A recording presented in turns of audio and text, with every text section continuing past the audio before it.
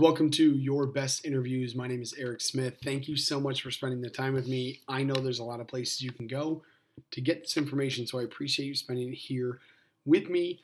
Today, what I want to talk about is just for those who are in the job search process, or maybe you're not in the job search process, but you're thinking about it because you're just not happy in your job. I'm here to tell you if you're somebody who is not happy in your job, you have the power to change it, and you absolutely should.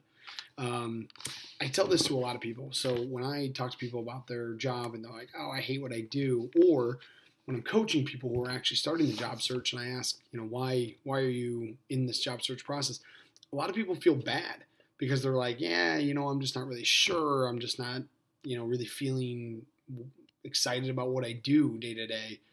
And what I always encourage them is to you know to say like then you're on the right track. Because if you are unhappy in what you're doing if you if you feel like you're spinning your wheels and wasting your time then you need to get out there and get a different role that does make you feel purpose right? Or, or it charges you up. Because think about how much of your life you're spending at your job.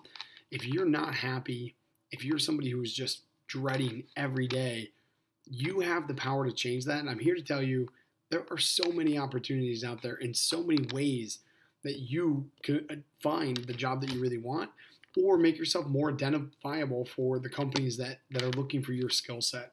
Um, you have the power to change it. And I'm telling you right now, you absolutely should.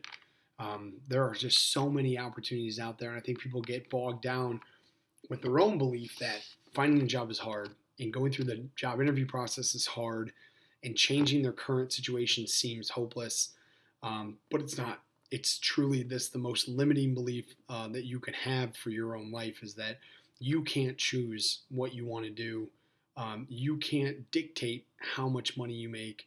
You can. You're in the driver's seat. Um, you can level your experience up. You can change companies, change roles into something that fits you best. Um, you just have to get yourself out there, get through those limiting beliefs, and get yourself in a position to win, to identify more opportunities, put your best foot forward when you get those opportunities, and select the best place for you. Um, but it all starts with you. And so if you're somebody who's feeling stuck, starting the job search process and feeling helpless, or you're just miserable in your job, um, get rid of those beliefs. There are so many opportunities out there, and you can absolutely change your situation and get the job that you really want. Um, check out my website, check out my course, check out everything. Uh, everything that I've created is designed to help you get to a better posi- better position, better place. Um, and I'm eager to help. So thank you so much for spending the time with me. Please check out my other resources and uh, let's get to work.